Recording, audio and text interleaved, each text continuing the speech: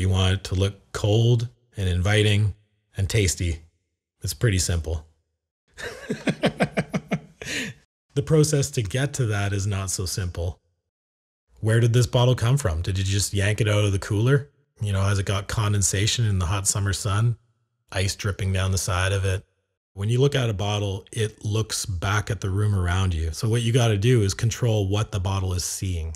If somebody sees a good bottle shot, it probably goes unnoticed. You know, they're not seeing that I moved around the condensation with a toothpick, that I added the little chunk of ice at the bottom corner of the bottle. What they're just seeing is cold and refreshing and inviting, and they want to buy it. We're used to seeing perfection all the time, especially in commercial photography.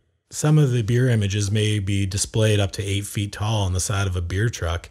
And when you see something blown up that big, it's got to be perfect. After all the styling is done, all the images are captured, get back to the computer, and I'm retouching and compositing multiple frames to create this beautiful beer image, and I'm getting thirsty, that's a good sign.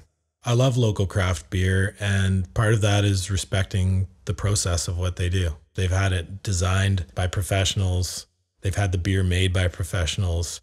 It's the final step in showing the world your product is this photograph, and uh, it's an important piece of the puzzle.